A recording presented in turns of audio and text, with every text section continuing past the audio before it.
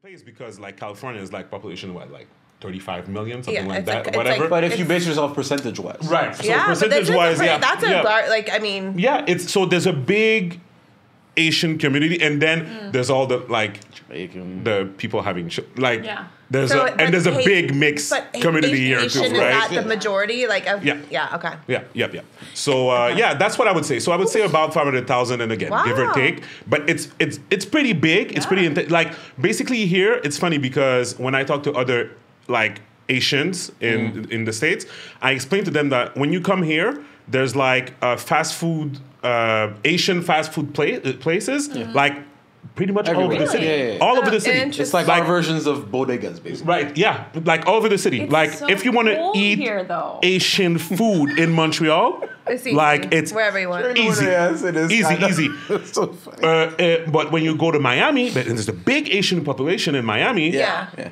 I mean, there is a lot of spots, but you have to drive. You have to Yeah. Here it's whatever, like it's right? pervasive. Yeah, it's Yeah. pretty much everywhere, right? You know. So, anyways, it- it's- nice. we're good to go. Okay, perfect. All right. All right. Oh shit! Which number are we at? A- Hang on to your to, to your chairs. Uh, We're, we're going in, okay? Okay. so let's just pretend it's hang on and we'll to your microphone. Let's Houston, remember that Kate, Kate- Kate came in and saying, "Don't you do this in French usually? Can I leave?" oui, bonjour. Episode in French. Yeah. Bonjour tout le monde, bienvenue dans le podcast épisode 104. Oh my, my God. This arm. 201. 201. knew we Uh, forget. we celebrated our 200 episode last week. And we week. forgot which episode was Yeah, the balloons. Miriam It's made really us a surprise. She bought balloons for us and didn't whatever. know? I didn't know. Yeah, we arrived with balloons, so Yeah, whatever. yeah, it was a nice- Anyways, Sweet, You've got a good one. It was nice. It was nice. okay. Now, Je suis Stevens Charles. Gaby Michel. Guys, uh, today's episode is going to be in English. Why? Because we have two. yeah, because of Kate. Yeah, because, of Kate. It's me. It's my fault. So, so, so. Anyways, guys, uh, again, thanks for joining us. Uh, like we say every time, like, subscribe, comment, do everything you need to do. Talk, talk, talk about it. Don't talk about it. We don't care. We just want people to, to- people to talk because that's what we do. Um, and yeah, so without further ado, I'm gonna let our guests introduce themselves. Mm-hmm, and guys, you don't know to don't need to go into all the details, but just tell people General a introduction. general Like, you know. introduction. But we're gonna get into the details a bit later. But yeah, go ahead, Kate. Like like my birthday or anything. I just want to get uh, uh, so, so, social social security number, Yeah, yeah. Not all the numbers. flight path, door lock. Hi, I'm Kate Jerkens. God. I'm um, Chief Business Officer for Uncle Nearest Premium Whiskey. First time to Montreal. We're here to talk all things Uncle Nearest with the with uh, Montreal this week. We're really excited. So Yeah, get the Yeah. get the U.S. embassy involved and exactly. everything. We're going Big time. for it. Uh, my name is Lucia Creed. I'm the Vice President of Marketing for Uncle Nearest Premium Whiskey here for the first time also from Oakland, California. That's Welcome. amazing. Welcome. we have a Thank 49ers you. fan out there. Perfect. does that happen? I love that. Yeah, no. hmm. I'm a fan of Did you- did you- 49ers. I'm not a, Order I'm Uber? not a, no, it's not us. Okay, you sure? And I would Because have. go like- eat Gabby. And if it was, I would have refused it. I don't like, I don't I like what actually he's would like to borrow his hat. So now we No, have I'm now not- we're in a feud. oh God, he's You'd look too Christmassy though. I can't Get wear it out of the way. Giants fan over here. So no. So wait, who's your team then? Giants. Giants. Oh, the New York Football Giants. Be nice. Let's be nice. That's yes. okay. That's my father-in-law's team, so I have to root for them and be nice about them. I won't. Yeah. You have By to- affiliation. by choice. Yes, yes. By choice. Uh, You're not- it's you're a not being family forced obliga- into It's a family obligation, but I'm a Niners fan because that's where I grew up up Oh, there. you're a I'm like- Niners fan? Yeah, I really am. But Kate, you're That's a big sports yeah, this girl. is yes. like I see your post and like it's like We are all sports all Yeah, the time. yeah. Yeah. So my father-in-law was a sports director for um, NBC in Tulsa, Oklahoma, for 30 years. Wow. And my dad coached football and coached football with like Mike Holmgren, who's now Mm-hmm. who coached the. He was the head coach of the Packers. He coached for the 49ers. Amazing, yeah. He was with the uh, Seahawks, and so that's like my So it's family's. not technically it's not your fault that you're a It's foreigner. not her fault. It's not her fault. It was just basically kind of like you know, it was in the family. But here's the thing: I've been in LA for longer than I've lived in Northern California. But I, I will not root for the Dodgers. I don't root for the Rams. Really? No, the only LA team I root for is LAFC, which is our football, our, our soccer club there. And what about the Lakers? I root for the Lakers now because I love LeBron. I like literally like never rooted for the Lakers, but I love LeBron. She so I'm a Lakers LeBron. fan. Really Yeah, interesting. yeah. My husband's a Okay. Clippers fan. So you have you have this in common because he loves LeBron too. Don't you? That's not true. He's I'm a LeBron, I'm a, I'm a LeBron hater. Oh my You are? god. My goal is to is to talk to LeBron He's just and strong. tell What him do you want to he's- talk to him about? I want to tell him that he's really good Yeah. at that basketball thing. yeah. But he he doesn't touch my hmm. Jordan. I'm He's sorry. he's just Oh. I'm sorry. I mean, did you see that thing the other night where he like had scored the most points Mm-hmm. ever? Yeah. So there's that. Mm-hmm. no, don't don't pay any attention to him. Yeah, I saw that. was you know. sure I saw that when everybody on the court was like passing him the ball, and the, the- and the other team was like, "Here's here's here's the ah. here's the highway to the They basket." really hooked his shit up that night. And all Such a hater, yo. My husband and I kept thinking, what if he misses it by two? They should have and followed. everyone goes back the next Thursday, and Right. like waiting for him to hit one, One. shot. Okay. Denzel has to ca- cancel Yeah. his flights. Jay Z has to cancel. yeah. You know, like we have to wait two days to get this. Yeah. Nah, nah. Lobos puts their whole party on pause. Yeah, they had a party they threw afterwards, A nice Party. party. Well, I mean, yeah. Can I say something? Okay, I'm I'm, I'm, Don't I'm being- leave it the- alone. The, cake was ugly. The cake was ugly. The cake was like. Uh, what, what's the number of uh, points? It was like 40,000, whatever. Aw. It's like, guys, come on. You could have done a better cake. I'm sure the cake was really good though. Maybe good. Let's not humor him in his hate. Keep pushing. I love LeBron. I love Cake LeBron. eating. I love LeBron for everything he does. What Like, he's I'm doing big. in our community in Los Angeles is really impressive, right? And like you see him as a dad and what he Yeah. does, and I just think 100%. There was stuff I hated that he did when he was younger, but everyone when they're young and don't know exactly We what they're doing make makes mistakes. But I think he's really Nobody's made up for it. Yeah. Yeah. It's listen. I was the ultimate LeBron guy. Like when I was like Biggest fan. 18, 20 years old. Yeah. Like I had all the jerseys, his first basketball shoes. Like I was like relentless Okay. about it. And then he went And to then when he left, like an angry mm. ex, he got super pissed. I feel like that. What's the saying? Like, don't hate the player, hate the game. Like, I'm sorry. You should, you You're should have talking to the wrong one. You're talking to the wrong guy. Even him in his like whatever movies that he does, his And he cameos was and whatever. when he did that. says it. He says, "I made a mistake." No, he it did was a mistake. Fair. It was a mistake. People were burning his jerseys in the streets. Remember? yeah. Really? Oh yes. Yeah. I, I don't There know. was the there was the big uh, mural of him, Nike mural, like Yeah. it says "Witness." Yeah. Back when he was in Cleveland and people were staying in there, they were burning his jerseys because he left. Yeah, Yeah. because he's from Ohio. I'm Yeah. not gonna partake in this conversation. Like, I'm sorry, No. you're from there. You're No. supposed to. You got drafted. It's destiny. But but at the same time, it's actually we're watching that. Have you seen the golf like documentary that's on like Netflix 25, or uh, Hulu Which right now? golf documentary? There's a documentary right now that's following the guys on the PGA Tour and then talking about the guys that go to LIV the um, Saudi Arabian Yes, tour. yes, I heard and about so it. I heard about similar it. conversations about people leaving the PGA to go to LIV, and they're like, we're doing it for the money or for our family. Yeah. Yeah. LeBron just did like what he thought was right at the time. I don't. He was young. I'll sit here all night with you on LeBron. Plus, when he Please did, don't. and Don't. Stephen A. He's Smith. like, just gonna be And I- next, I- talk in the about corner. music. and listen, listen, and. Stephen A. Smith brought out a good point. Uh-huh. The reason why the All Star Game is what it is today, which is not good, right, is because of LeBron. Because More he, hate. because he refused We're to do talking about the slam dunk the slam- contest. yeah, the slam dunk contest, Which had nothing to do with what we were talking about. No, sure, but, go ahead. But LeBron, LeBron is good. Like, let's not. Let, us keep it a buck. He's a game He's, he's a good guy. Yes. He did a lot of good stuff. A lot. He's a good player. He's yes. also, by the way, he hasn't dipped his toes in a lot of controversy outside of that stuff. Right? He's actually, from a role model standpoint, you can get into a lot of players, all players, but he's not surrounded by a lot of controversy. yeah, I agree with Very that. I, you know, I agree. So I, there's I some, agree with that. I, I, I For as long this, that he's been playing see too. him as like you know Yeah. when you saw on the Yeah. court his mom come, his wife come, his kids. Yeah. Like to me, That- there's- that- that it- speaks I, to something. I think it does. He's the Yeah. Obama of the NBA. oh my god. oh,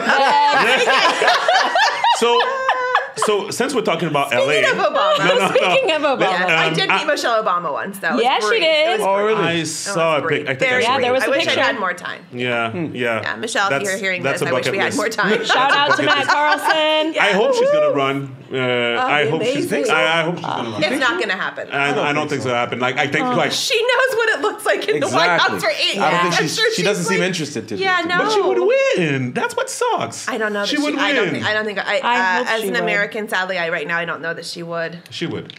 She would. You think? Yeah, yeah. yeah. I don't I know think if you Americans give hard- America too much credit. No, I don't know. If, I don't, hard, I it's don't hard to feel, hate her. I personally don't feel No. that No America's one ready hate- to see a woman president. They personally. clearly aren't. But also, if you Oh. look at, if you read a lot, electing Obama was an amazing thing, Yes, it but was there already a lot feat, of yeah. people you will say that will also see like him being our president for two. I feel like we're getting really political for two full terms. People have got very uncomfortable with it. Of course. Yeah, for sure, And yeah. you So saw- So that's you- what I'm saying. You saw so the then you're saying results of it too. Yes, afterwards, exactly. Yeah. But can I s- Sadly, but- it was but- because I. I mean, my daughter was. When he when he was elected, I think she was six months old. She was sleeping in her crib, and we woke her up and like said it to her, like, "This man Really? is our president." Like Yeah, yeah, we were so She's, like, excited, crying. And Six months yeah, I was like, I wanted to be able to tell her that, and we were so That's hopeful, funny. but not the whole country didn't see it that way. So you know what I think? It's like I do give America America more credit than you guys think because um, as a Canadian, Yeah. I I travel a lot, obviously, to the hmm. states, so I see like everything that's going on like with another like sort of view and stuff, different and eye, stuff- yeah. different mm-hmm. yeah a different perspective and you're in different Yeah. areas of the United States, so you're seeing a Yeah, lot of from different perspectives. Yes, yes, yes. state state, So, anyways, me, the way I see it is, I think like people are more in line than people think. Like right now, there's a lot of division because of like, oh, you're a Democrat, you're a Republican, and you're Yeah, this yeah, and you're that, and or you decide to not wear a mask or wear a mask. and, Oh, yeah. Oh yeah, Yeah. you're you're a demon and, Right. and whatever. Like guys, we need to all sit down and talk. Like you know, like Absolutely. but but my point is is that I think we're when somebody speaks on a podium and makes sense.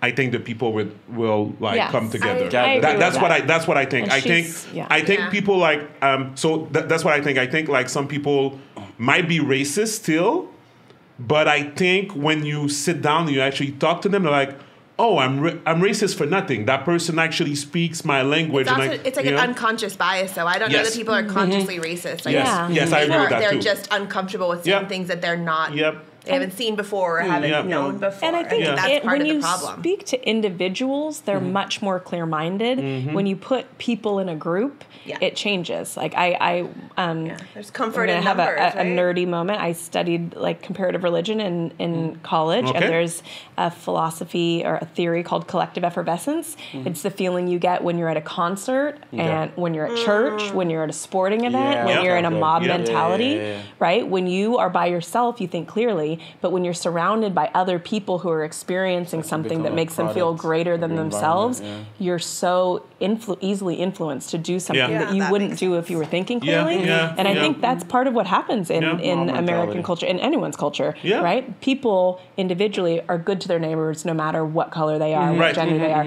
But when you put a bunch of people together and they have fear that another group is going to come in and take something away from them, They it took our changes the dynamic. Absolutely. yeah, yeah, yeah. Yeah, yeah, no, yeah, I, yeah. I I think it's a compli- uh, complicated complicated Complicated. thing. Sorry, a That- that's my English, word. guys. That's my English. That's my French. Hey, It's the French guy. It's better than our That's friends. my right. We'll go to French. I'll just.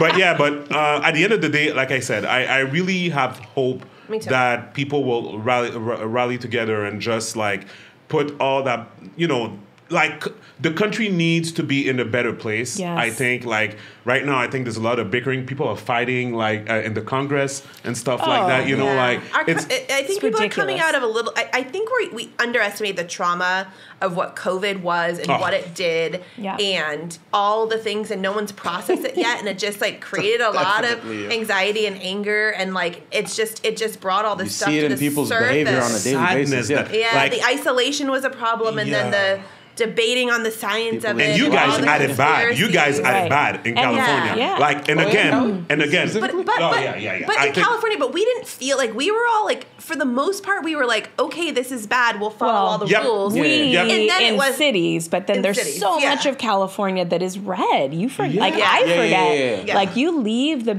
the. I live in Oakland, right? You leave Mm-hmm. the Bay Area, you leave LA, you drive an hour, and people have very different viewpoints. Yeah, yeah, yeah. I heard recently that there was still some Ku Klux Klan actually Oh, in the north of California, I probably- some, somewhere and whatever. But uh, what what I mean is that I think everybody wanted to follow the rules, and, and so far we did everything that we were told. What I'm saying is that at some point, people need to actually be honest and say that the Zoom with the kids. And It's it's horrible. not. Oh, It yeah. was horrible. teacher- like, the teaching and, and and they need to do a study and see how we're gonna Right. because there's a lot of kids that went behind because of this, especially in. Um, I think we're in- still in, feeling the uh, effects of it today. To, to yeah, And in, in, in, depression uh, and impoverished mental health. neighborhoods and stuff like that. It was it was awful There's for them. so I many think there's- horrible it's- things You got to with go by age group on it. Like the teenagers, really bad. Middle schoolers, really bad. Yeah. My six year old who was three at the time missed a year of preschool. He was kind of living his best life. Like his Yeah. mom and dad traveled. We were always traveling. Like he got to be at home with us for a whole year and Yeah. had no responsibility. Being a kid, yeah. He'll probably remember it in a really positive Of way. course, Is he a little delayed maybe in some things, yes, but like he'll make up for it. Mm-hmm. Yeah, yeah. So I think some of the younger kids, especially for people like us who had the ability to work from home Yeah. and could do all the things, Yeah. like Yes. I that's my privilege speaking, right? Like Mm. for those kids it was okay, some for the younger kids, but as a whole, not great for children to not be interacting Yeah, with yeah, people. yeah. Yeah, yeah. And I think when you're in big cities like Los Angeles, where it's million. I mean, that school district is huge. We went to a private school. We go to a Catholic school, so Mm-hmm. that we were following the archdiocese. So we went back a little sooner. But LAUSD, like, the fear is also just like, how are we going to make this work? The classrooms are packed. and yeah. same with New York. It was. Yeah. You know, if you put everyone back in a classroom, is everyone is it even worth it, or is everyone going to get sick and two days later Yeah, be gone? us, I just, exactly. they, I just didn't know. Eh, Oh, us, that's yeah, what we were doing here. And Yeah. no one has a blueprint for it, which Yeah. is why, like, the criticism I get, I think getting into year three, you were like, okay, let's just call Enough it what is it enough. is. Yeah, yeah. Um, you know, we're on booster number 75. I- Yeah. like, I'm good. Like, at Yeah. a certain point, you know, Yeah, but like, us, me and Miriam, we had no choice. Like it was not even a question about uh, what was going to happen. Is like we had to we had to get vaccinated to be able to Yeah, I actually mean, for the business to just, travel. just to travel. So it was can not travel, even. travel yeah. into the U.S., right? No, yeah, if you were Yeah, not yeah. vaccinated, right? So it what about even, for Americans coming here though? Yeah, it was Well, the I same mean, thing for for some time, but now it, now it, they don't. I do think round anymore. round one and two became like, but after that, nothing's. I, I think round one and two, I kind of got it, but Okay. now Yeah. I'm like, if you were forcing me to do more, I really resist Enough is it. enough, I just, yeah. I just don't. I think we're all a Yeah. lot of us feel the same way after the first two um, Yeah. obli- that we had The the, bl- the, yeah. the Yeah. dosage that we needed Yeah. to have, but uh, for a third one, right. like it's not. But I think that's why the world is grumpy. I think we're just processing all this like. Yeah. All There was a lot of bullying. It felt like Yeah. bullying in a sense. Yeah. Like I understand you're doing it. so much a lot of division. I understand you're doing it to protect us. I Yes. really do. But I, sometimes, especially here in, in Canada, like in, no, in Quebec specifically, I felt the way like our prime minister was like talking to us as if he was our daddy. Like, Right. like specific. Oh, like you yeah, guys in the US was like. we, we had a nickname. For Yeah, him. we the called Daddy him, you know, yeah. Papi Legault. Papi- Papi, yeah, yeah, like yeah. grandfather Legault. Yeah, it was a running gag because he was Uh, really so like he was, and, and the people was like, "Oh, he's taking care of us." Talking I'm about like, handsome Justin right now? Is that who?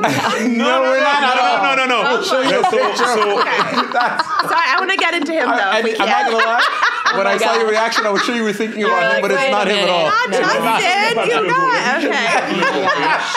I it's crazy. Not at all. You're I'd not gonna like have the same type of reaction. There you go, François Legault. Like reality That's TV, him. basically. That's our prime minister. The, the one Oh. on the left. was like, so I'm confused. Okay. Oh, Yeah, yeah. So that's the prime minister of Quebec. That's the prime minister of Quebec. And you have Oh, good looking. Justin, good looking Justin, which is for Canada, right? and they don't. They don't see eye to eye. Oh no, they, don't beef. see. They beef because see. Quebec is the Ah, only. yeah, tell me Quebec is the only French-speaking province in Canada. Does so Trudeau speak French? yeah, yeah, yeah. Of course, he's from Quebec. Flu- He's from Yeah, he's from right? Quebec. That's his last Trudeau. Yeah, so he's like, oh, you need to treat, you need to treat, uh, you need to treat treat us different. You know, and then he goes to meetings. They go to meetings, all the province together. You're like, no, we're from Quebec, we're different. And then it's like, treat us different. there's, there's, there's still there's still that turmoil between French speaking Yes. and English speaking people. Like, Yes. the- the- So, Tell people us don't. I don't know Sure. the history. I don't really know. I know we could. Well, you're like you don't want to tell the history of like, everyone listening is like we know the history. So we'll No, that's fine. That's fine. But I was. You fasc- think they know? You think I they was know? fascinated by the English and the French here, so I, I found that really like Fascinating. Yeah, Yeah, yeah. Oh, really? Yeah, you can go. Well, you've been the- here before. No. Oh, it was your first time. Yeah. yeah. Tell me. Toro- So- I've been to Toronto and Winnipeg. What? It, Winnipeg. I've never been to No, Winnipeg. is- I went in the summer. plan It's hot. on I ever didn't go going in to the, Winnipeg. No. so- Yeah, it was lovely. You, you can die in Winnipeg during the winter. in the winter, right? Yeah, you it's can- not. Colder? It's, it is cold. That's what I'm saying. very yeah, cold. be- yeah, because it's a, it's like a desert, you know. Yeah. But Yeah. so where Mir- where actually Miriam grew up in the West Island, it's called like there's like Kirkland.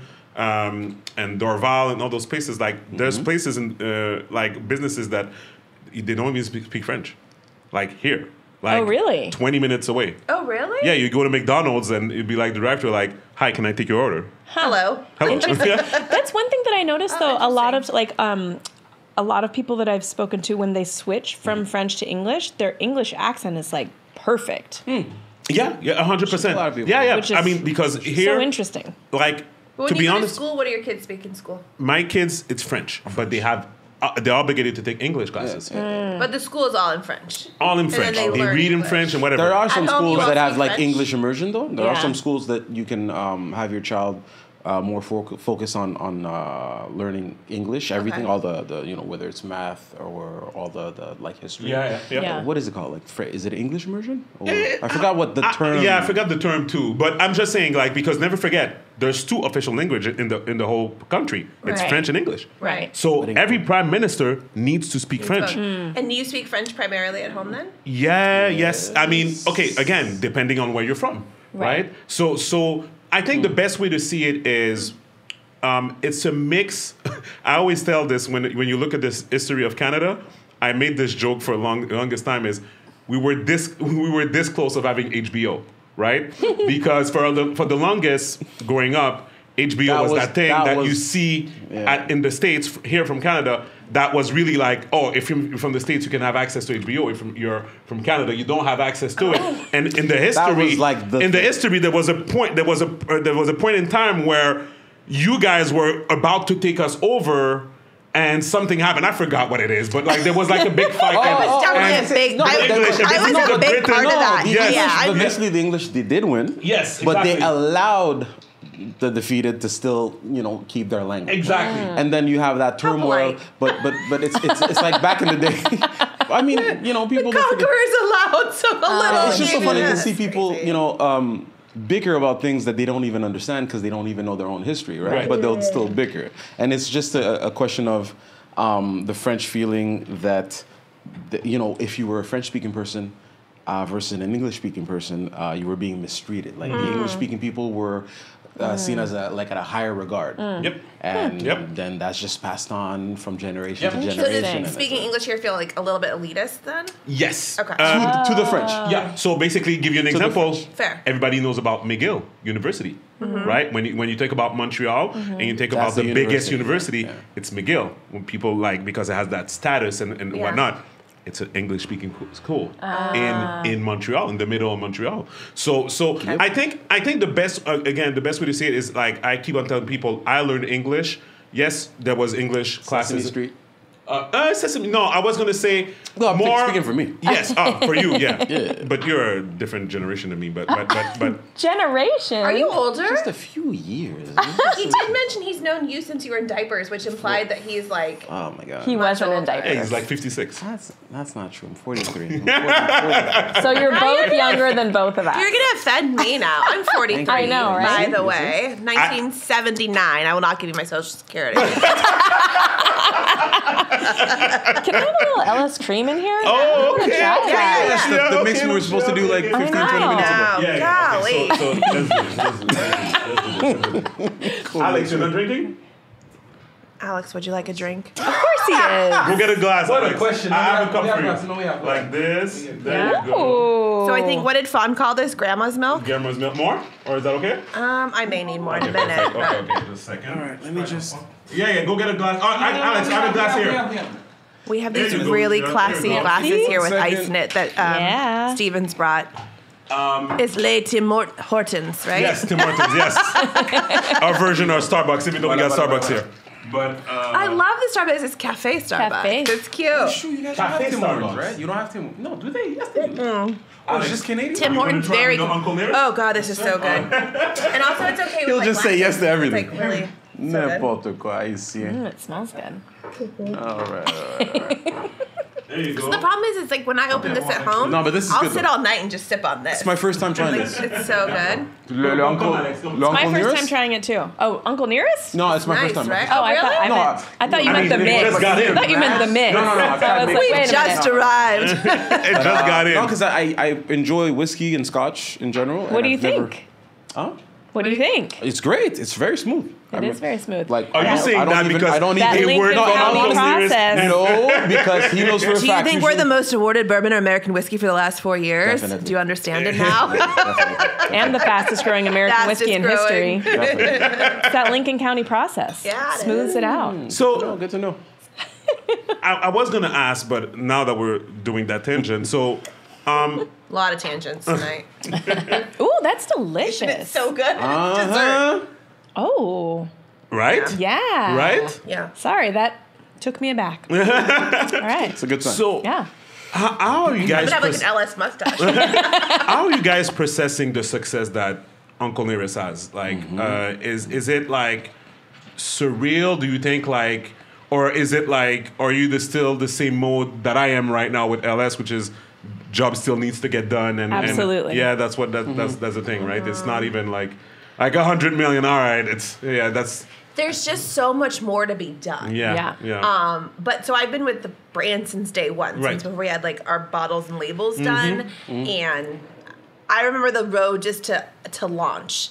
And then I remember like the day of our launch, like our party, and it felt like a wedding. Like you were like all the planning had come together, and like the events here, and like you know you don't get to talk to everyone, you don't Yeah, eat, yeah, you know, yeah. and you end up a little buzzed. And then the next morning, it was like, oh, like this is really happening. happening. Um, so like every phase has been kind of interesting, but yeah, I mean, right now it's like it's well, um, we have a an amazing ambassador of ours, a guy that just loves us so much, Tex Rover, um, Georgia, shout out, and he always says all gas, no brakes, and that's kind of where we are still. Yeah. Um, Yeah. But just a little less frantic because at the very beginning it was Fawn, myself, and Steven, and traversing the country and like figuring out distribution. And as we grew and like added people and then in 2020 when we had a little like a pause where we were no one we were still working our butts off but we weren't out in the world and we figured out what we needed. We brought lucia on and we brought other team members on it feels like we're more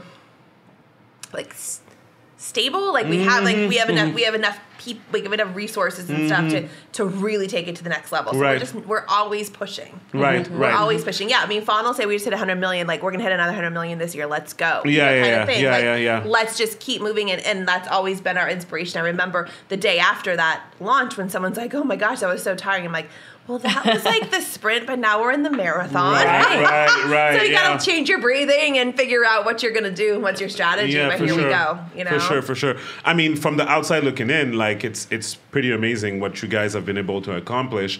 Uh, I think it, what's funny is that it's it, like I said, I was t- uh, telling you guys earlier. It's funny to see the people here's reaction to learning about Uncle Nearest now. Yeah. Like it's so like it, it's it's so. It, it- it's so fascinating to see how information travels, and Yeah. you see what pick what what people pick pick up, right? So there's smaller stories about Uncle Nearest that are gonna stay in the states, mm. but that hundred million one, it Yeah. crossed over, Yeah. right? what, And- res- what resonates, right? So in Yeah. the United States, like the story of an African American in the deep, an enslaved African American in the deep South, and his relationship with a white man, and this that relationship was extraordinary. But Mm-hmm. Americans, it resonates very different than maybe it resonates elsewhere, right? Right. And so our Yeah. story Yeah. has always been such a big deal, but we also have always done our uh, created whiskey with excellence as well. Mm-hmm. Um, but then all the all the PR, like we have PR for kind of for everybody. So I think it just Mm-hmm. you, even in the UK, we realized like coming in and saying first known African American master distiller, people are like tell me more, and it's really Yeah. okay. He's a godfather of Tennessee whiskey. This is what he did, and I was like, oh, that we get. You so you have to yeah. realize, and he is like without. Without Nearest, there's no Tennessee whiskey. Right, right, right. He's the one right. Okay. teaching the process. He's the one mentoring people how to make this whiskey, which is now the reason Tennessee whiskey is called Tennessee whiskey. So what's the relationship with Jack Daniels? Like in the sense, like I, I know the story. Like okay, Nearest Green, Jack Daniels, rela- family relationship, whatever. Like there was a closeness there. But what's Sure. like? But the the the is there a corporate link between the two entities? The only, so, well, so if you don't know, so really quick, Uncle Nearest, enslaved man in the 1800s, was enslaved on a farm owned mm-hmm. by a preacher named Dan Call. A young, since you brought about mm-hmm. Jack Daniel, moved to that farm. He was about nine years old. He was the youngest of 10. His mother had died shortly after childbirth.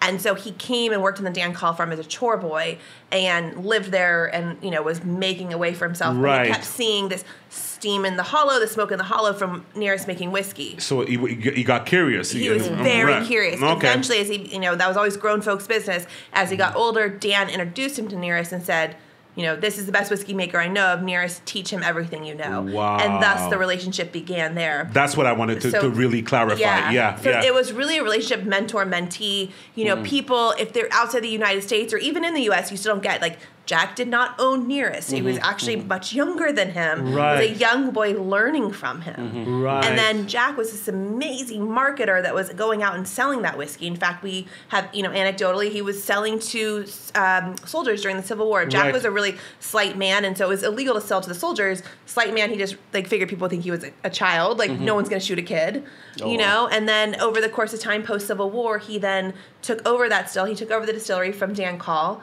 hmm. and post Civil War, he actually hired Nearest to be his first master distiller, and he was paying him as he would have paid anyone else. That's Okay. crazy. So 1884, which is here now in Montreal, is the year we believe Nearest retired. And so Nearest retired, Jack moved to where he now is in Lynchburg, Tennessee, mm. and Nearest's sons also followed him. So that famous picture everyone sees of Jack Daniel with a black Yeah. man to mm-hmm. his right Yeah. is actually Nearest's son George. It's not Nearest. Ah. Okay, We have no Okay. photos of Nearest at this point. wow. So, but we have records. Quite. Records, we yeah, records, but no photos. So and Nearest was also the only master distiller at the famous Old Number Seven distillery. Wow. That's amazing. Mm-hmm. But you, you see, this is the thing. This is the, the, the things that are so compelling story. Yeah, Yeah. yeah, for sure. But that's what gravitated, uh, made people gravitate within that because Yeah. that's so. You never hear something like you never heard about something like and that. the You story, know? and people in Lynchburg, Tennessee, like this tiny little town in the South, like we Victoria Butler, who's our uh, master blender, like she grew up and it was like white people and black people there all hung out. They were friends. They Mm-hmm. played together. All the things. Not something that you would traditionally see in the deep South. And everyone knew the story of, of Nearest and they knew the story of Jack. Yeah, yeah. It just never really It wasn't like really put to light. traveled, right? And so light, when yeah. Fawn came to town, everyone was a little skeptical, like, "Well, what are you here to tell?" And sh- Fawn knew, in her heart of hearts, she knew that their story was one of honor and love, and Mm-hmm. she committed to everyone there that if it's not, I'm not going to tell the story. Like Yeah, I know what yeah. I, I. I, you know, and and I think that that was a lot of hope that was brought to the United. I mean, that was when we launched in 2017. We were in a lot of turmoil in the United States, and Yeah. I feel like that was such a great story of love and light and um, but if you think about just what Tennessee whiskey is, that process that Nearest was using, what he taught Jack was filtering through charcoal. Okay. And that process can be tr- tracked all the way down back to West West Africa. Wow. He was not the only one. He was not the only only person doing that. Though. You Oh. know, but he taught it to Jack, and then Jack's whiskey became, you know, it's a great American brand. big thing, yeah. And you know, however many years ago, they lobbied for Tennessee whiskey, like for Tennessee whiskey to be Tennessee whiskey, it has to be Yeah. made in Tennessee, Right. And it has to go through that process, the process that Nearest had taught Jack. wow. There's one distillery in Tennessee that has an exemption because they've been there for so long. Wow. Um, they don't use that process, but otherwise, if you come and you want to say you're Tennessee whiskey, that's the process you're using. So Thus, Godfather status. full disclosure, I've been to the distillery last. Was it two years ago? you were there for for our June. No, like, the- no, for the inauguration. Uh, um, I was there. The June, reopening? Was that in 2000? but it, it was 21. tw- 21. Yeah, yes. Juneteenth. We opened. We Yeah, reopened we- Juneteenth. we reopened on 2021. That's it. Juneteenth. Yeah. Almost two years ago. Now. Yeah, that's crazy. I Time, time flies. It's Not getting any younger. So um, the um, it was it was surreal to be on that land to see everything that was accomplished to see all of that. It was like really it was really surreal. that Mm. people don't even know that this distillery is hosting people every day, basically. Yeah, we're Every open week. Thursdays through Sundays for tours, and then we're open on Mondays now for retail as and well. there's always people there. Always people. Always. Mm. It's and we're about to open out like the world's longest bar and all the things. It's just Really? gonna get bigger and bigger. Yeah. Fawn is a bit of a show off, right? She is subtle. A bit of a. A bit of a. Let me tell I you. I feel me and Fawn are like the same, like in a sense, like I would do the same thing. The the world's longest bar, and like but she's humble as all. So okay, Yes. so funny today. So I got a text from her today. So yesterday she posted like on Instagram, like I love working here, like showing this distillery, Yeah. the distillery she built. Yeah, yeah. and someone wrote to her was like, if that was me, I'd be playing like Who Runs This World or whatever. Yeah. Beyonce or somebody. But Fawn's like, I love working here. And I'm like, you did that shit. Like Yeah, that's yeah, you. yeah, yeah, yeah. Um, proud but of she's always very hum. She's humble, she's humble for real. like for real. But Yeah. she doesn't like to do anything small. That's what I mean. That's what I mean. Uh, oh, I'm just gonna Yeah. do this, No. and We then weren't you know. gonna just open like a tasting room and check the box. It's like, no, we'll go ahead and be at the top distillery in the Rule world. number Thank one. you. Right? Yeah, it- do was it so with funny. excellence or don't do it at all. Exactly. yeah, but I mean, 100%. yeah. If Fawn listens to this, I'm. Uh, my goal is to bring her to Montreal. I know she she probably already wa- wanted to come. I spoke to her at Kenny's birthday last Oh, year. nice. And I know her and Keith want to come to Montreal, but I, I would like to structure something and where you know people could actually hear her listen Yeah. about her story and, and, and stuff that. yeah. So uh, yeah, I'm We'll book her be- for 2027. Her schedule's really busy. She'll make some place for me. Let's put something on the calendar. I now. mean, yeah, yeah. I'm gonna talk to her team, and you know. Good luck.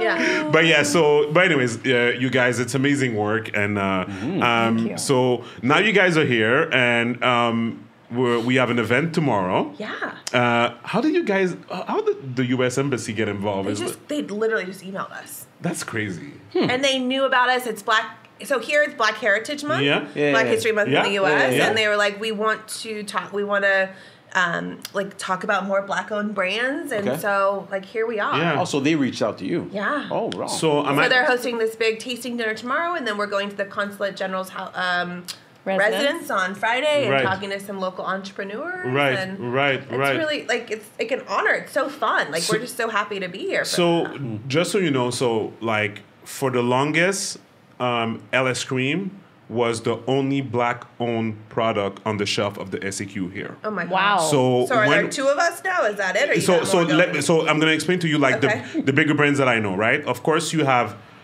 Then I mean, there's a mo- maybe like a sidebar, but Ciroc, Mm. right? yeah. I mean, there's a complicated Mm-hmm. structure behind that, but we all know the story. Uh, D'Ussé, yeah. Ace of Spades, um, uh, Barbancourt rum, Yeah. right, Of course. from Haiti, right? Okay, and and to me, like I said, I think Barbancourt is like it's not that it doesn't count. That's not what I want to say. It's just. Barbancourt is an not- it's institution. It's It's it's an an- it's institution. into the It is. institution. Yeah, it's not like local. I don't care about the numbers. Like they could sell a one case a year or Right. ten thousand or a million case a year. Every bartender knows what bar. Yeah, it's right. So, but LS Cream for the longest because we got it on the shelf of the SAQ on October uh, 2015. At that point, we've Been at it for that Yeah. long. yeah, yeah. So, so finding our foot because, and again, as you No guys are. small feet, by the way. No small feet. Thank you. Yeah. As you guys are discovering it right now with Uncle Nearest, Yeah. the SAQ, they're not really easy to bargain with, and they have a price structure that is a bit special, mm. right? so let's just say that it took us five years to figure that out. Yeah. I'll just keep it at that. Okay. Yeah. Um, uh, I'll leave the rest for my book. But uh, but but but basically, yeah. So Hope for, we make the book. yeah. But yeah, but basically, yeah. When, when we launched at the SAQ, we were from from here. fir- First of all, from Canada. Right. You'd think Like- you would have gotten a lot more. I get an American company trying to come in. You think But locally. it's, but it's so difficult. yeah, so in the control states in the states, I definitely think there's because so you guys like the provinces here rule like kind of a control Yeah, states in the yeah. states. But I feel like there is some preferential towards local mm-hmm. Yes. brands in Yes. other places. Yes. You would- There you a would preference. Yes. You would imagine. recently that became a big thing but Okay. I, I think i think the, the, the message i'm trying to convey here is that at the end of the day this is this industry as a whole is really complex Yes, Yeah. it is. and when you put in like a monopoly in the middle of that afterwards mm-hmm. it's it becomes practically impossible the, the reason we got in it's like basically we reached out to them when we were building ls mm. and we were like hey listen we have this project we were like we're from montreal you guys are government owned we pay, we pay taxes this is basically our business It's local. It's Yeah. put us on. They basically la- la- laughed at us and they hung up, you know. Yeah. And then there was an article that And came in then- in the in the newspapers, like uh, online or whatever, like the bi- the big newspaper here that's called La Presse, Mm. and basically it highlighted LS Cream, and they started to get a flood of emails. okay. And they That's reached out, you need. That's what and they reached out to us, and that's how we got in. Normally, to get in, you have to like do a, a, a, a tender calls, whatever, like a call to tender, whatever. That's what Like- we went through. And Yeah. we have a broker that's been working with us for almost three years. So this was very recent that we were able to get in. And then we had to redo our labels and stuff. So Hmm. Yeah. that it was just not under like outside of Canada, not understanding all that was challenging. So Yeah. really excited to meet everyone and like understand it a little bit more. Yeah. I've not been here. We've gone through it all kind of outside yeah. of Montreal. Well, I mean, the, the good thing is that you can feel you can feel happy to know that everybody goes through that. Yeah. Yeah. Even the people from here, you know, they go Yeah. through that. You know. Yeah. It's it's it's it's just a grueling process. But I all of this to say because we're talking about the Black History Month and the embassy and whatever. I'm actually working with the SAQ right now to try and make them acknowledge Black History Month because oh, the SAQ as a whole, you know, the SAQ it's 400 stores across the province. Mm, wow. It's two billion dollars in revenue. Wow. Okay. Does And- all everything gets here beer, wine, and liquor in the SAQ? It's yeah. It's I'm gonna Uh, say it's not more beer, wine. wine. Yeah, it's gonna be more wine and, and Spirits. li- liquor, spirits. Yeah. Okay, so Yeah. beer- beer. They No ca- beer. they have Well, I a little mean- spec- specialized, but because remember Prestige was still there for a while, right? Well, You I know? mean the, the the the core of what they sell. Yeah, the core of what they sell is wine and spirits. That's the core. Okay. Beer is still found in um, Like grocery? uh, Yeah. groceries or um, you know the, the or equivalent of a Convenience bodega, stores. commu- yeah, whatever. But uh, but again, my point is okay. So real quick story, so you understand exactly what I'm talking about. Is so we got LS into the into the, the the branches of the SAQ. So we're doing what we're supposed to do. We're going to the stores, and at one point, what happened is. Um, there was a this was uh, January tw- 2020, so two months before the pandemic. Okay, so I'm actually going to meet Gaby for the podcast, and I wanted to get a bottle of wine. And um, yeah. and I go to a specific SAQ, which is in the middle of Montreal. Okay. Middle of Montreal, like you know, urban, you know, whatever. Right? yeah. And I go there and I realize that ever since we got on the shelf, that specific store never carried LS. Wow. So while I'm browsing, I'm, I'm like, I'm, I'm, I'm going to ask an employee, right? Yeah. I didn't introduce myself as the owner of LS. And I'm like, um, hey, do you, like, You why don't you carry LS cream? He's like, yeah, in French. He's like, yeah,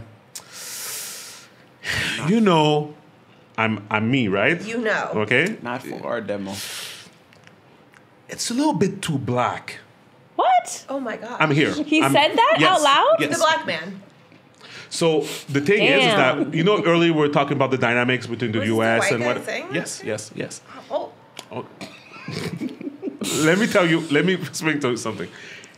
Growing up, it was easy to hear a white person say to you, "White people play hockey, black people play basketball."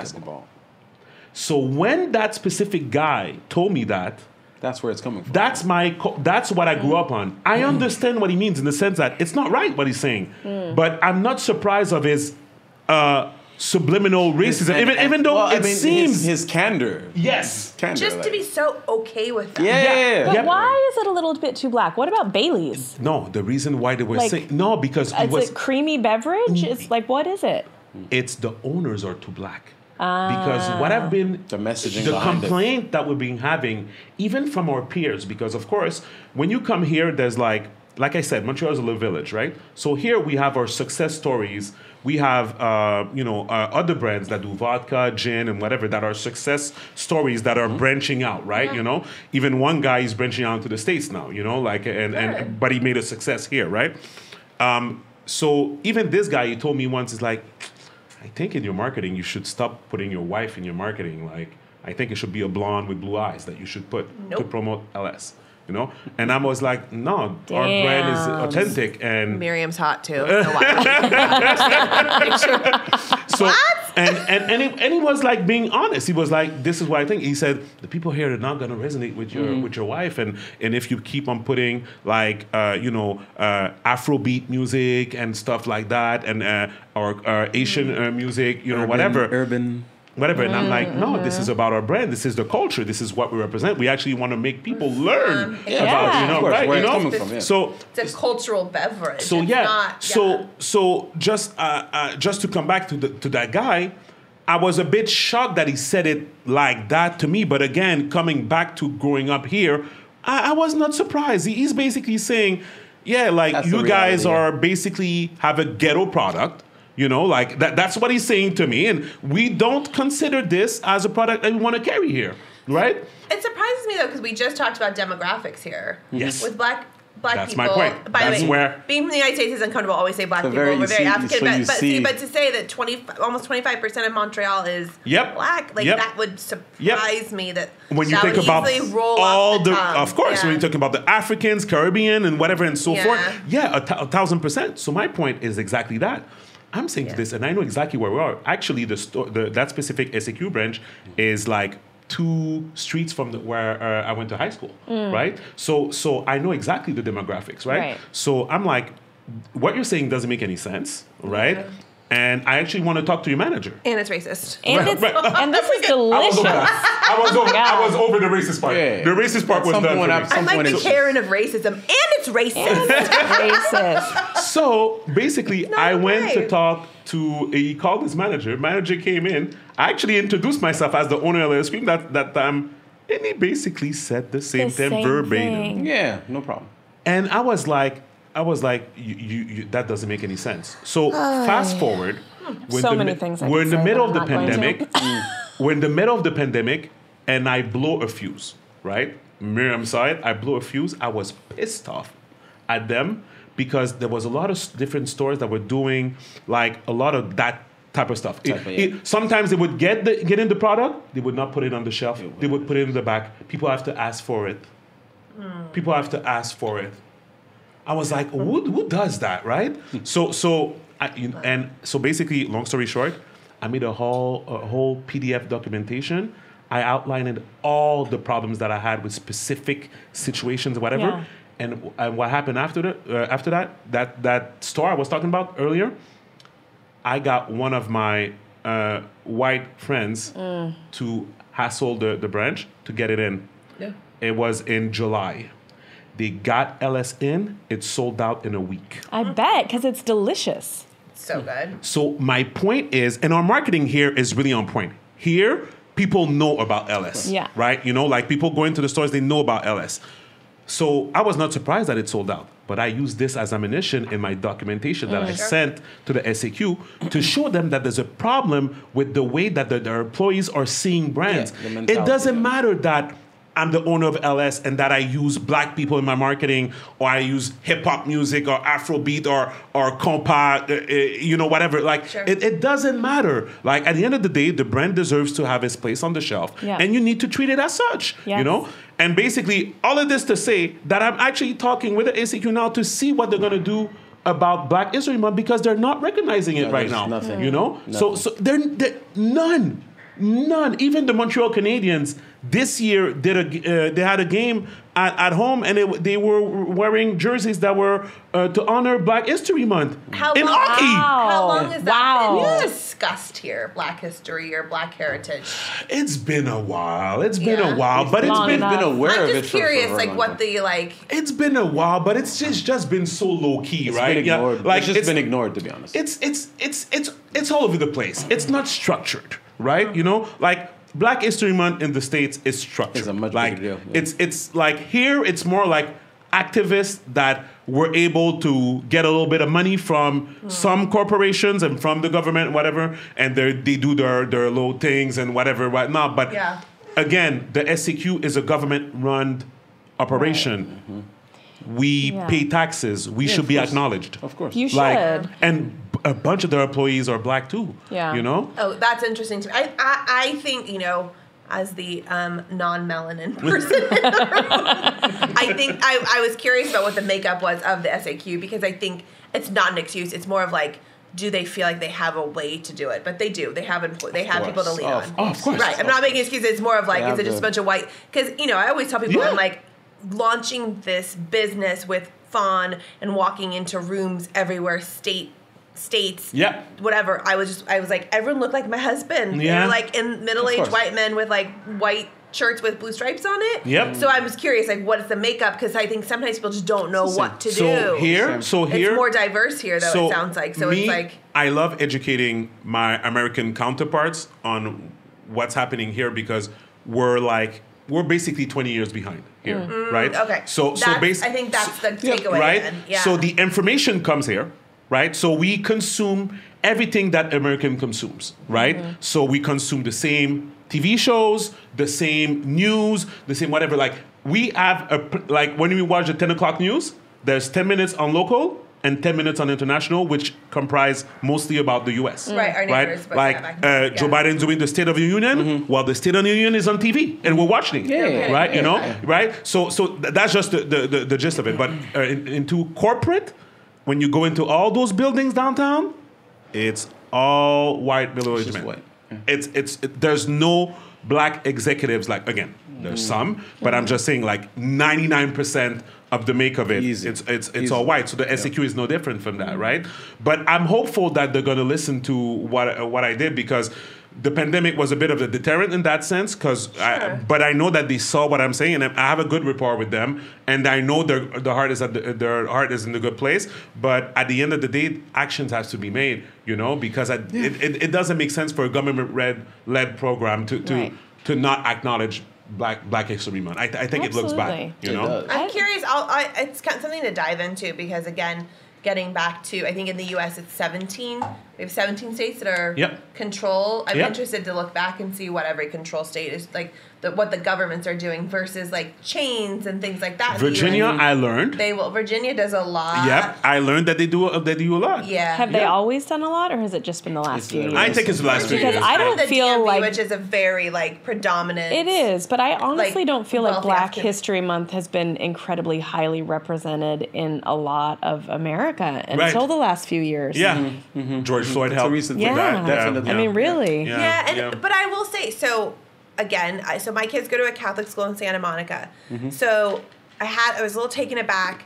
A few weeks ago, my six year old came home and they were learning about learning about Jackie Robinson, and so they give Hmm. him like coloring books. And I'm just saying this, like, please don't shoot the messenger because I actually. Yeah, yeah. You're just they're learning about famous black Americans and then they were coloring these guys and so like he's all colored and the whole thing is brown like no and Mm-hmm. Right. I was like it, it felt as a white woman I was like is that right like You not felt just the way, you felt it the way. felt away because Yeah. I'm like are we doing it right Right, right. you know in Yeah. like i just feel like i feel like you know people don't it's not an excuse it's like how do we get people past the point to push past being uncomfortable Yeah. and just mm-hmm. getting into it Yeah. and so what i've noticed in my son's classroom is i counted i was there the other day he's got about 20% of his classroom that's of that's people of color Right. which is actually in you know in our little part of like pocket of west la it's pretty big so i think we're getting there but i think people are just so uncomfortable with doing the right mm-hmm. thing yeah, now mm-hmm. yeah, Right. Mm-hmm. yeah, and Yeah. and so even that I was like, well, I don't know if I would have done it that yeah, way. yeah, Yeah. Um, yeah. But I think that that's. But he knew all the he knew all the stats. Like Yeah. this is where he was born. He Yeah. was the first black person to do this. To do so he knew all the things. I'm like, so do we have to color a picture though? Like why can't we just talk about the person? Like the way he did it felt. I don't know. Yeah, Yeah, I get- I- I totally understand. And. I think that's the SAQ. Like, so how do we go about it? How, do we have enough black brand, black owned brands to represent it? Do we know who's going to be the face of this campaign? And it's like we need. P- yes, Charles. So Stevens will be doing it. Stevens Um, will be doing it. Dear sir, Who are we kidding? Who are we kidding? It's gonna be Miriam again. Oh my gosh. But I think that we just need people. We need allies. Like, I mean, it's so. fu- Someone what, they were asking me the other day. They're like, as a white woman, is it so interesting to work for and work work alongside so many powerful like black women? And I'm like, yeah, it's mm-hmm. amazing. And they're like, but I feel like you uplift them. And I'm like, I do. I'm in that opportunity. We mm-hmm. need more of that opportunity. Yeah. We need more white women to work with more black women to be able to uplift them and to speak about them. And the same thing. It's like if the SAQ doesn't have people of color in leader visible mm-hmm. leadership positions, they don't know what the heck to do. Of course. And that's Yeah. part of like our advancement initiative with Jack Daniels as well as well as bringing people in and fast tracking them so we get people of color in leadership positions so people see what it means Yep.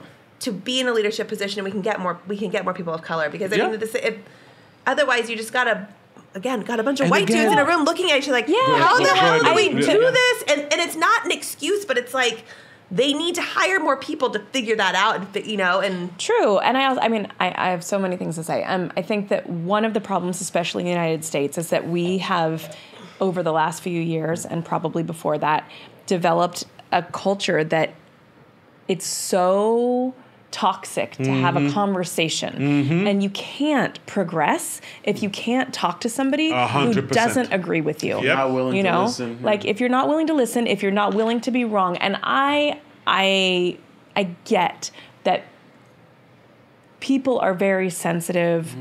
right now about what they say because they're scared they're going to be wrong. And I think that we all have to have a certain amount of grace. Um, Because there's It doesn't cancel- mean that you it's should cancel have- culture. That's It why is. everything I've said today, I'm like, definitely- It is, but- I'd like to say it with like a grain of salt because people will take any word that someone says and they run with True, it. and no one will No one wants to ever be learn if they can't ask an honest question. It might be ignorant, um, and I don't expect for for all of us to do the work for someone Yeah. else, Yeah, yeah, yeah. but to be able to have a conversation without just being completely cut out. Yeah. You know, like that does not create change. That doesn't do anything positive. Um, and I think, especially in the US, that's something that I've seen so much of. Um, and I would also say, you know, this conversation came up. I was I was teaching a class in New York a few weeks ago, a, a month or so ago Right. Um, and it was we were on a diversity panel and the conversation about there being so many white men in the room came up. And a colleague of mine dwayne silvestre said something um, about like white men don't check out of this conversation. And i went back and reiterated that. And my point and his point was that white men, white people have access to be in spaces and to say things and be heard in a way that women and people of color don't. So you can sit there and smile and say, Oh, yeah, I support you. But if you don't speak up and you don't make yourself a, a true ally by putting yourself into an uncomfortable conversation, you're not really doing not anything. Well, that's just it. Like accepting casual racism and casual racist remarks that people, you know, the very casual stuff that happens in a fraternity or on Right. in a locker room or whatever it is. Like You have we to need say those, We need white guys. Like we need those white guys. You to do. say like, Yeah, hey. I mean, that's not funny. It's not Yeah. funny. I mean, That's not my funny. I have two children. Not my funny. my kids. I am very very fair. Mm-hmm. I acknowledge that. Um, my kids look white, white, white, Right, white. right. And we have so many conversations about the responsibility that comes with their privilege. Right. Because my I'm like you are white and black, Mm-hmm. and their dad's family is Mexican. I'm like, yeah, you look white, and you will Mm-hmm. live your life as a white person if Right. you Reality, choose yeah. that. And also, all of that ancestry is still within you. No counting matter- on you to speak up. and you too. can Yeah. get into these spaces and be heard by people who would never listen Mm-hmm. to your grandfather mm-hmm. or your mm-hmm. great great grandfather, and you have to say something. So mm. it's it's crazy and Must you be know hard to teach, it's, though. It's, it's something that I already said on the it's so podcast. important. It's a necessity, yeah. It, I I already said it in the podcast, but my first like I've I've dealt with this like all my life, like casual racism joke, whatever. Okay, but it seems so far away. But um, my son, Preston, um, four years old, pick him up from daycare, and he's st- he's he's like. I see him like more quiet. He's always joyful, and he was more quiet. It's a family daycare, so it's like they're like eight Yeah. top, Right. whatever. So uh, so he's like a bit more quiet than usual, and I'm like, Preston, what's going on? He's like, uh, you know, today was not a good day. I'm like, what happened? He's like, yeah, well, uh, this kid told me that I couldn't play with the other. So, s he was trying to play with the other girl, and this kid came in the middle. He said, no, you can't play with her because you're black because of your skin color. He didn't say black, but he said Right. he made a reference to his skin color. And at four years old, Yeah. I I never thought that I would How have. shocked were you by that I was shocked. or not? I don't even remember. When you told me I the was story, I shocked. wasn't shocked. I don't because remember if I was shocked. I was I was disappointed, Disappointed. but I, I but I don't think I was shocked. are, are a reflection of what they learn at home, Yeah. too, at that age. It Yeah, is. just I mean, bring- that's not that child. That's what's really sad. No, it's, It's not coming. It's not right? coming from it's the like child. It's someone coming from taught you exactly, that. That's what you're but hearing. but at but can I say something about that? God, this that is sucks. th- it's funny. Um, I've came in a full circle about this, like a 180 about what you just said. Um, one of a, a project that I did because here we don't have uh, seniors, we have a thing called CEGEP, which is like Oh, we, okay. we we finish at great like high um, school. high school, but it's do high like school five years. Yeah, five years. and then yeah, we go to college. Yeah, But exactly. our college, you guys' college is also university, right? Yeah. right, and yeah, then we have we go we- to grade twelve and then we go to four year university. exactly, and we have an in between. No, we have our college right? is an in between. College Oh. and university are Right. two different things. Oh, Oh, Yeah, that exactly, sounds right? Our That's kids horrible. need that probably. So anyways, in that specific moment. There was a, there was a, uh, uh, like a what's it called semester project. Yeah. And the semester project was uh, it was like a I, f- I forgot. Uh, it, it's human science. Is that what it's called? Like in Humanities, Humanities, whatever, whatever. Like, and it was like, oh, find a subject. And one of my good friends at the time was Italian, and uh, and um, we always seen eye to eye, but we were always play joking like about the race thing or whatever. Like we were good friends, but we were always making jokes. And we said, what about we showcase if racism is taught at an early age, uh, like just delve into that, right? Yeah. So I, he- we went to his high school, uh, wh- which was more privileged in a more suburban situation, and uh, no, sorry, uh, uh, pre, um, was it prim- uh, elementary school? Sorry, Okay. that was more like you know privilege and whatever. And my in, in an elementary school that was more in a urban area, more public and whatever, right? So we went to both schools. Uh, we talked to the sixth graders. si- si- Sixth graders. Can you believe that in both schools we had the same answers? which was similar to what I said at the beginning. If you're black, you play basketball. If you're white, you play hockey. And Well, imagine those yeah. 11 year olds, Racism pervades those- all. That's what they say on TV those all the time, 11 too. year Yeah. Back olds, especially. guys and girls, looking at me and Giuliano in front of the class, fascinated. Yeah, they were the two dynamics fascinated together, yeah. by our dynamic. Mm. Yeah. Fascinated.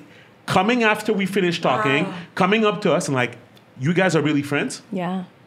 They're like, yeah. So how many years ago is this? now? It was it was in 2002. Mm-hmm. In 2002, right? So, but again, Love for you to do this again. yeah, yeah. No, to honestly, see, to to Yeah. see, because I think but I that'd think be really interesting. I think what would only change would be like the the the the context of what people would say. It would be different now because hip hop music is everywhere Yeah, and this right. and that. But in the back of their mind, Right. There's still a they still see yeah. different stuff. It- it's it's, it's just unconscious bias. But that's but that's what I mean. We had a really fantastic training on this. Yeah. Um, and Dr. and Jeffries was this one? Yeah. Hasan Jeffries. Shout out, Um, Dr. Shout Hakeem out the Ohio State University. The Ohio State University. um, but but what he what he talked about, we've had a couple trainings actually, um, and the fact is that you know when we talk about systemic racism.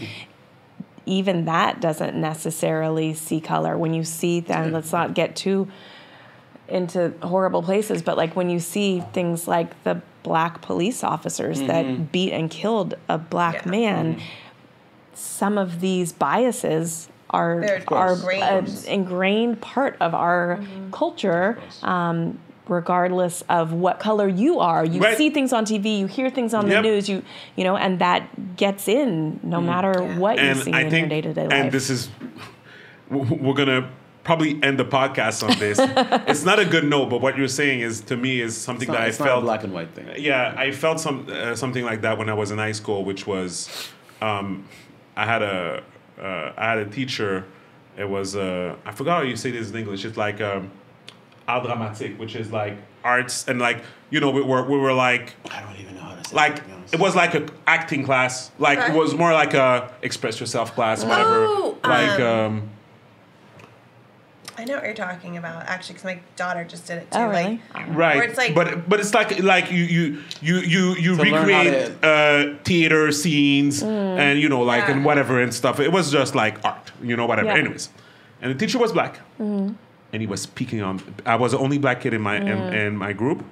Um, i went to a private high school and um, yeah and he was speaking on me specifically and i felt it. I felt that there was a racism because i was black. He wanted to show Oh, the was other he, he was speaking to you yeah, specifically? yeah, yeah. He was showing the other white kids that he was not making me a priority, right? He was showing the other white kids. it's like that it- a weird, like I'm Yeah, not. It's instead like of- you know, with like nepotism. I'm not Yeah, favoring being. Yeah. a teacher, I'm not Yeah. favoring you. About Yeah. I'm not favoring you because I'm you're black, black. you're black, I'm not gonna yeah, give that yeah, to you. Yeah, exactly. So And- he was but- more, more but- concerned about how he but would be perceived He was versus more, teaching you. Yeah. and again, Yeah, like why was that even in part of the It's equation? crazy. and, teach your Yeah. class? and again, there is It's is. like an improv class. That's the word I've been looking for. Yeah, Yes. it's like sort of improv. It's Yeah. like, yeah, exactly, right? You know, It's really good for kids to learn. That how to, is But it was crazy. funny Yeah. because he, you could see even at that time that he was more of a, um, like, and again, like, I don't want to go into too much like yeah, Yeah, uproar, yeah. but there are some black men that seem to have a preference t- towards white women Mm. than either going to black men. And mind you, I have a lot of black friends that are white white, white women. It's Are all good. yeah.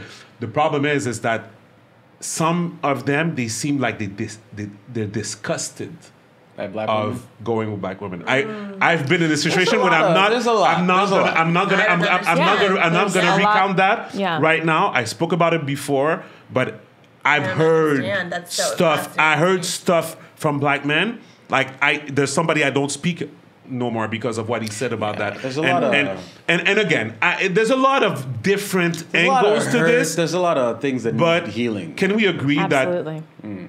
Your son should never come home either crying or No. being sad because a four year old told him No. that whatever. But my thinking is that, you know, when they did on CNN that thing, there were the four dolls.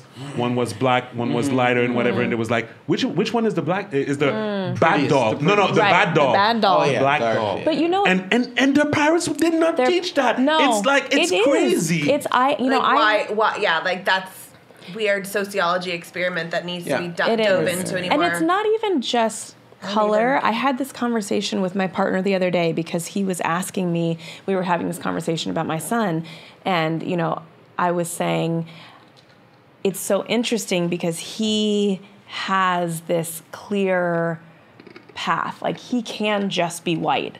And he was like, You never felt like you could just be white? And I said, I know that, like, for a lot of the world, it probably seems like I could, but one of my earliest memories is being a young child and having my friends run away from me because my hair was frizzy and my nose was flat. there you go. Regardless go. of the color There of my go. skin. You don't There you look- go. You don't look Because I wasn't, You know? I didn't look like them. They knew I was not, my I was other. My cousin is um, is the shade of Alex. Mm-hmm. Her husband is white from Quebec, whatever white man. Their their daughter came in came out as like you, fair Yeah. skin, whatever. Yeah. But her hair is different, and Super she curly. had and Yeah. she had her, her experience with it recently, where you know, oh, your hair is different, therefore we're not playing with you, blah blah Yeah. blah, making fun of her, and what, and, and now, oh, I want my hair to be this, I want this, I want that, yeah. and Oh. I straightened my hair for years. Yes, yes. It's it's it's stuff that we have crisis. to deal with, Yeah. and it, it, it's it's and it's crazy when I see Miriam talking to our daughter and the, the books that she needs to buy and whatever. Like she did such a great job with that. Like she made it a point. Yeah. Like she knew it was coming, so it was like like loading a gun. Like in a sense, like No, it's okay, so important. yeah. you know, like okay, we have to do this, we have to do that, Yes. because we have to. It's it's it's crazy. It's like coming. it's, By the way, it's, it's yeah. hard enough to, to, to raise a young woman in mm-hmm. this world. Right. like And then young to girls. put definitely. that yeah. on and to be a young black woman, mm-hmm. that's just. Yeah. I will say I'm I want to make sure like everything I- I have hope with our future and the young people that Yes. I am meeting every single day. I do too. Um like I really do think that our world can change and I think Yeah, that this it's little getting our little hemisphere can change with the young people. It takes people like us having these conversations with other adults and then bringing those home. You know, um, we had a school where there was a lot of rules about hair. Catholic school, right? So a lot of rules mm-hmm. about hair, mm-hmm. and even boys wearing long hair was not okay, and mm. all the things. And we had a young woman at our school that was wearing braids. She's African American, and their, my daughter and her friends went to the principal at one point and said, like, we think the rules about hair here are Strict. biased or strict and they're keeping people from like being able to talk about their natural hair their heritage Wow. and where they're Yeah. from and so you know they even went and talked to them about like feminine products like things like i'm telling you like people even at 11 and 12 went to a principal to have these deep conversations not afraid of authority but wanting to speak up about what's right for Yeah, yeah, women yeah. and for their friends and so i, I hear more and more of that I i, think too. as long as we're having these open conversations i think our world will change it's, it's Mm. i thought i thought our generation was quote I thought I, I grew up with like hippie hippie parents, like Mm-hmm. accepting the world and everything that's the but I realized growing with my little microcosm of California and as I've traveled throughout the world in the last few years, Yeah. realizing okay, that's not how everyone's being brought up. So we have Yeah, a lot yeah, of yeah, work to do. yeah, yeah. We gotta hit our youth. Like that's Yeah. that's our future. And I know we've said that for a million years, but really it is. We need we need parents to instill these things, or we have to.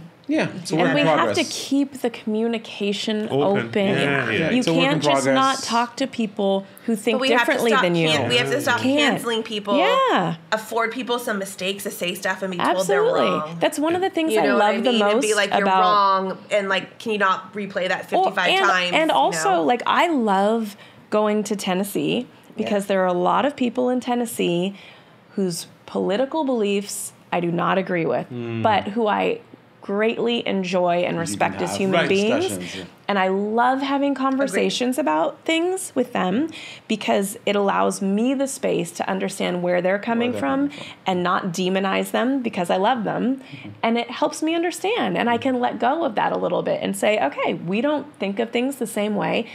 I understand. And we talk about it. I'm like, eh, I don't under, I don't Yeah, agree. yeah, yeah, Agree yeah, But it's not a but in red a blue. It's not. respectful It's way. not But about we your can come to party, a closer, really. no, but we can come to a, a, a place of more mutual understanding Yeah. by having those conversations. Hundred percent. And that's what I- people need to do. Just talk to people. Yeah. Yeah. It's Yeah. not the With end of the world. openness. I agree. I agree.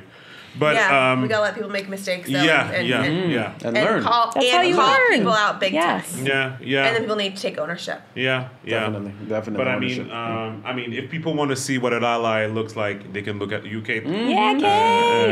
and definitely. It's been so- like the biggest privilege of my life, truly.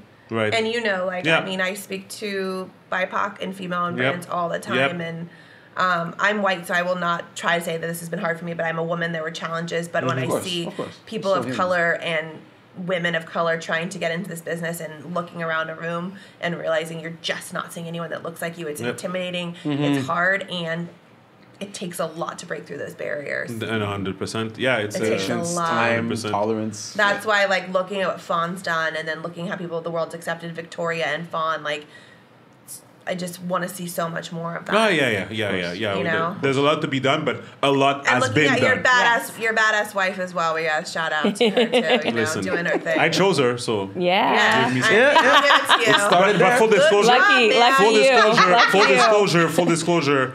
My friends will tell you when I met Miriam 20 years ago. Yes, I basically yes, told this to my friends. I told her like this is the woman that He did, he I did. choose because I think whatever I create, she will make it better. That's what I said. Yeah. But more men like that, right? That want to see their women having success. So Fawn and I talk about this all the time. We always debate hmm. who has a better husband. and she and I go back and forth. We do. Like, Okay. But no, it's not a debate. Sorry, it's more of like who's got A discussion Like that no, you it's more of like it's actually it's not a debate. It's more of like you're lucky. No, you're lucky. All Like, right. They all kind of thing. love So how much they love of- their we partners. love how Yes. much we all love each other. And my husband, like, I will every podcast I'm on, I always shout him out. He's always like, "Thanks for that." But truly, his mom, his he, his mom moved his brother, who was six weeks old, and my my my husband, who was four, from Wisconsin to California. Um, like so, young mom, and and like basically sold sales door to door. The boys like kind of raised themselves and like created this, built this business, and now she's an incredibly successful successful woman. And my husband watched all that. He was not going to marry or tolerate anyone Mm-hmm. Right. that wasn't in in a position where she wanted to work and be yeah. successful. And so he fully supports it and Yeah. he loves it and he wants that for his daughter and everything like that. So we Mm-hmm. also there is a piece about partners, like what you just said about like meeting Miriam. Like not every man is like that either. Yeah, yeah, yeah, for you sure. know, not every No, for sure, partner for sure, for wants sure. to see their partner Yeah. s- like fly and succeed and Yeah. be that person Yeah. either. And Yeah. I think that's an incredible. I think it's weird, but you're right. I, yeah, I yeah, agree it's think weird, but more yeah, of yeah, it. But yeah. I will say, like, ha- like John, you know, it's like everybody that I've met in this recently and in our group, like people, like their partners want to see them succeed. Absolutely. Yeah, You know, and that's a big piece. How supposed to be. 100%. So Right? before yeah, before we close out, because we had to leave because our ride is waiting for us. Uh-oh. So um, um, We're hungry. So this usually in this podcast we finish by talking about TV shows and movies and whatever. Always Okay. So before we leave, I just want to know favorite movie. Oh gosh, favorite movie? That's hard. The one Oh, question they're won't so be. bad. It's like so bad. Like I could go back to the '80s and John Hughes. That's fun. Okay. yeah, That's fun. or like La Bamba. Has anyone ever seen La Bamba? Oh It's my never god! seen The I did. So I have. good. See now we're Um, we're showing our age. 80s Oh John my Hughes God. movies and like anything with um like Jim Carrey in it. Okay, cool. Okay. I like That's to laugh. La Bamba's the one where Okay. he dies at the end. La Bamba, he With dies. The plane, the, the plane music's crash. so good, and the acting Was it is minimal. Ritchie? Ritchie? What about- Ritchie Valens. Yes. What about TV show? Or ride is calling. We're coming down right now, okay? We're coming We're down right talking about very important stuff right now. Il n'y a pas de problème, on arrive, on arrive, on arrive. Okay. Time that happened Bye-bye. to me, they left. So oh, we'll Um, I will say the TV show that got us through all of um, COVID and still can put me to bed at night is just The Office, like Perfect. plain and simple. Okay. Uchi. I am. It would take me too long. Okay. I don't even know. I gotta go to dinner. Let's go, guys. OK, guys, c'était le podcast épisode 200. Thank you, Kate. 201. Thank you, Uchi. No, Merci. sorry. Sorry. and Two- 201. Thank you guys for coming. You guys are so dope for coming. Thank Uh, you. Uh, you guys just came in into Montreal and you're here, so that's awesome. uh, so, guys, keep on liking, keep on commenting, Comments. subscribe. Uh, le podcast. People, we out. Cheers. Cheers. Bye. Oh, I'm empty. And we will tag you guys definitely.